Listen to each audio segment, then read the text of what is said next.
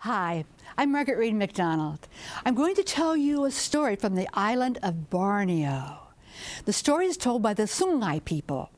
Sungai in Malay means river, and the Sungai people live on the river, and so their houses are up on stilts because of the floods. I call this story Borneo Snake.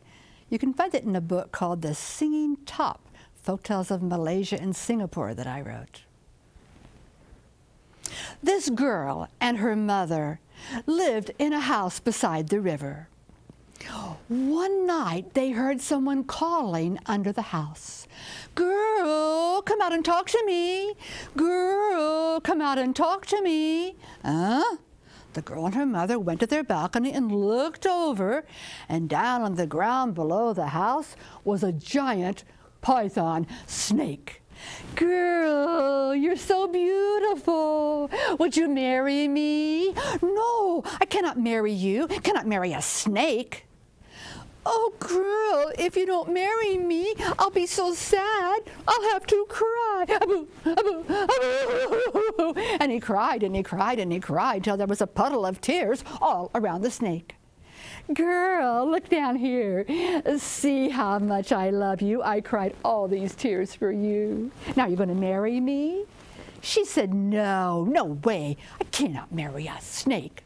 Um, if you won't marry me, I'll have to cry some more. Boo, boo, boo. And he cried and he cried and he cried till there was water under the entire house. Girl, look now. See how much I love you. I cried all these tears for you. Now you're going to marry me? She said, No, no way. I cannot marry a snake. Oh, if you won't marry me, I'll have to cry some more. And he cried, and he cried, and he cried, and the waters began to rise up the house poles, higher and higher and higher and higher and higher, clear to the floorboards of the house, and the snake swam all around the house, calling, Girl, look now, see how much I love you. I cried all these tears for you. Now you're going to marry me for sure, right? She said, No, no way. I cannot marry a snake. I have to cry some more. And he cried, and he cried, and he cried. And the waters came up through the floorboards into the house, up to their knees, up to their waist, up. And the girl and her mother had to climb on the roof to stay dry. And still the snake cried and cried and cried, and the water rose and, and reached the roof of the house and over the roof and up to their ankles, up to their knees, up to their waist again. And the girl said to her mother, Mother, what are you going to do? I think you have to marry the snake. If you don't, we're both going to drown. Okay, okay, I'll marry you. Just stop crying. Oh, I'll be so happy, girl. I'll cry big tears of joy. No, no, no, no more tears. Oh, okay. And the snake stopped crying, and the waters went down, and the girl and her mother were able to climb back into their house. And the snake came to the foot of the ladder and called up, Girl, mother-in-law, can I get up and talk to your daughter now, mother-in-law? Uh, come on up. And the snake came up the ladder into the house and looked around. Ah, nice house. This is your house. Okay. Uh, shall I live here with you, or do you want to come and see my house? Let's go with the snake, said the mother, and see what we've gotten ourselves into. So the snake led the way down the stream, and they got in their canoe and they followed down the stream and down the stream and down the stream and down the stream. And suddenly there was a big, fine house. Wow! That's my house, said the snake. Mother, come out. I brought home a bride and a mother in law. And his mother came and looked over her balcony, and she was not a snake at all. She was a beautiful lady. Mother, may, may we come up into the house now?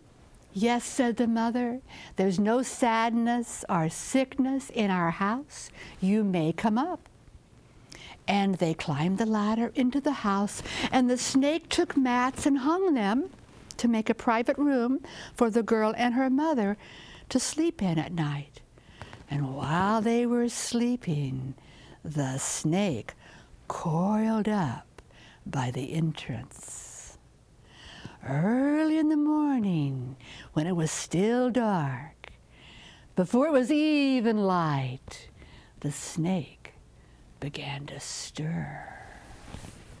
Girl, did you wake up yet and go to the river to get the water? She was still sleeping. Then the snake stood straight on his tail, took off his snake skin, and became a handsome young man.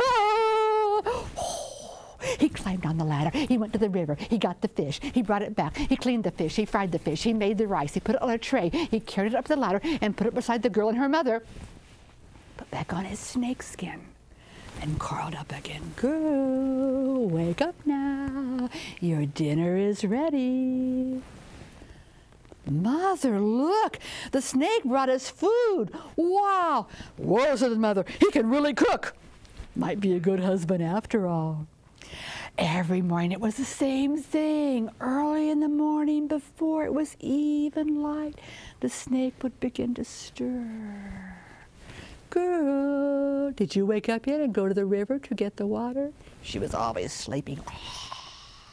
And the snake would stand straight on his tail, take off his snake skin, and become a handsome young man.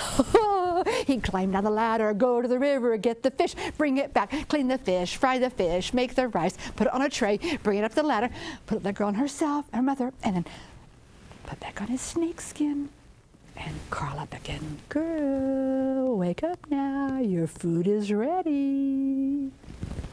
After a while, the girl said to herself, something strange about this. A snake could catch a fish.